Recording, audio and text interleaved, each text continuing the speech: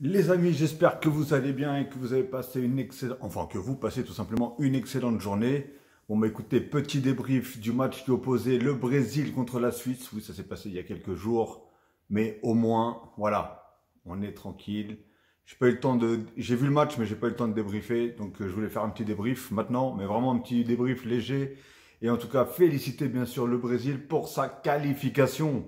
Brésil, l'équipe que je, que je supporte euh, depuis des années, des années, depuis que je suis tout jeune.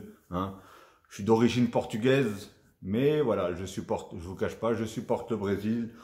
On peut m'appeler vendu, je sais pas quoi, ce que vous voulez, voilà. Moi, en tout cas, depuis tout petit, c'est eux que je supporte.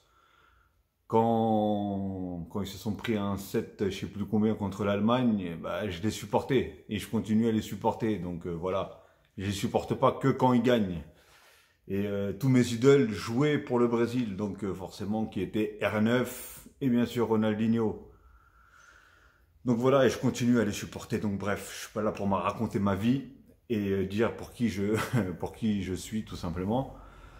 Mais voilà, en tout cas, belle qualification. Franchement, le Brésil, c'est fluide. Même s'ils ont, c'est compliqué de jouer contre la Suisse. Franchement, ils ont vraiment une très très bonne équipe.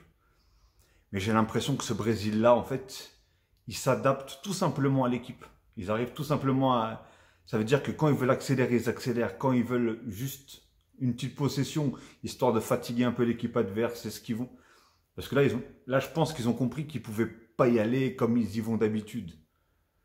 Et donc, à partir du moment où, voilà, où, où la Suisse bah, est remontée un petit peu, s'est libérée un petit peu, avec la fatigue, etc. Donc, forcément, le Brésil, à partir du moment où tu les vois avec de l'espace, forcément ils vont pratiquer un, jeu euh, ah, bah, technique. Hein. voilà, c'est le jeu, du Brésil.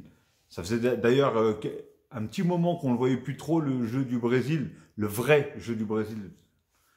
Et euh, le genre de tiki-taka, possession de balle, beaucoup de passes, très peu de, de jeux garde à balle, etc.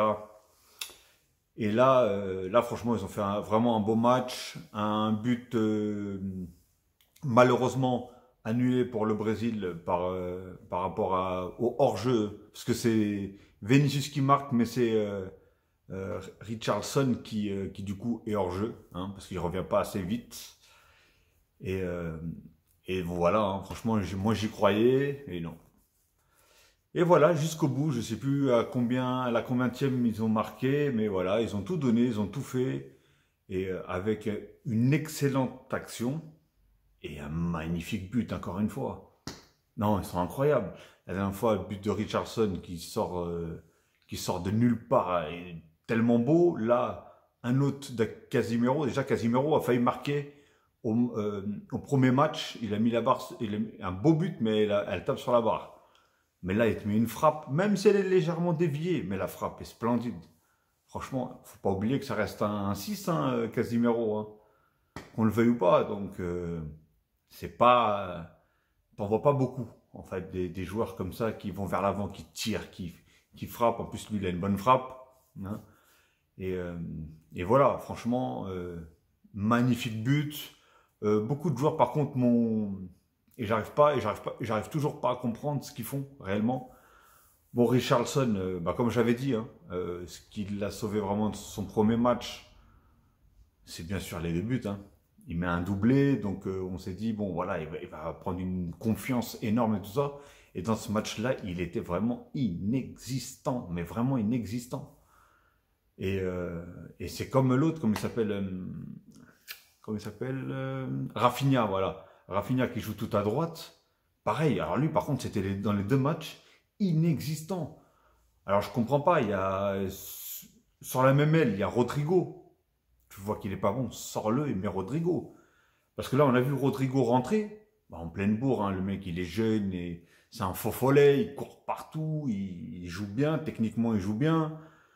Euh, il a beaucoup apporté dès qu'il est rentré, même s'il n'a pas du tout joué à son poste. Moi, c'est la première fois que je le vois jouer à ce poste-là, personnellement. Après, euh, je trouve qu'il a bien joué, mais pour moi, je le préfère quand même sur euh, l'aile droite. Mais vu qu'il y avait euh, Rafinha, bah, il ne pouvait pas jouer sur l'aile droite, parce que du coup, il a retiré euh, Paqueta pour mettre Rodrigo. Donc ça a été très compliqué. Et, après, euh, du, coup, il a refait encore un autre changement plus tard. Et là, du coup, il a quand même réfléchi. Parce que pour moi, il a mis du temps à les sortir. Mais il a sorti les deux en même temps, Richardson et, euh, et Rafinha. Et du coup, il a mis Gabriel Jesus et, euh, comment il s'appelle, Anthony. Voilà. Et qui d'ailleurs, lui aussi, hein, il est rentré, il a fait vraiment du bien avec sa vitesse, avec son coup de rein, avec ses dribbles, etc. Franchement. Moi, pour moi, et en fait, ce qui est fou, c'est que le Brésil, tu le vois jamais en panique. Là, il restait pas beaucoup de temps. Eux-mêmes, ils se disaient, comment on va faire quand même pour marquer? Parce que cette, cette équipe suisse, c'est vraiment compliqué à jouer. Et, euh, et voilà. Ils ont su garder le moral. Ils ont su garder la tête froide sans vouloir euh, se précipiter, sans vouloir faire des tirs pour euh, tout et pour rien, etc. Et ça finit par payer, tout simplement. Ils n'ont pas gagné un gros score, ils ont gagné un zéro. Mais celui qui me dit que la Suisse aujourd'hui est très facile à jouer, alors là, je sais pas, faut pas oublier que c'est eux qui ont éliminé la France à l'Euro. là, franchement, je sais pas ce qu'ils ont fait le premier match, mais là, pour moi, quand ils ont joué contre le Brésil, ils ont fait un très gros match aussi. Donc, franchement, attention, attention avec cette équipe de, avec cette équipe suisse. Mais voilà, en tout cas, deux victoires pour euh, le Brésil. Là, le Brésil, ils ont gagné que 1-0. Mais euh, et encore, franchement, il y a eu des actions. À un moment, on voit Vinicius qui part. En fait, il y a que Vinicius et Rodrigo. Et Vinicius, et il y avait que juste un défenseur. Donc, on s'est dit, Vinicius. En plus, je sentais que Vinicius, là, il était à bout de, à bout de course. Il a fait énormément de sprints. Rodrigo, il est frais, il n'y a pas longtemps qu'il venait de rentrer. Je me suis dit, il va lui mettre quand même. Et non, je sais pas ce qu'il a essayé de faire. Il a voulu dribbler. Il s'est fait prendre la balle directement par le défenseur. Et du coup, ça, c'était une action de but. Je dis pas que forcément, à la fin, Rodrigo l'aurait marqué. Mais allez, il y a un très grand pourcentage de chances qu'il l'aurait mis. Qu'il l'aurait mise, pardon. Donc voilà, en tout cas, les amis, euh, moi, en tout cas, j'ai apprécié le match. J'ai bien aimé le match. J'aime beaucoup le Brésil comme je vous ai dit. Ils sont qualifiés. Je pense que du coup, le prochain match, bah, ah oui, et je, tenais à dire aussi, Neymar, un gros manque, hein, qu'on le veuille ou pas. Même s'il il a ce toucher, ce toucher qu'on n'a pas retrouvé. Tout simplement, on l'a pas retrouvé.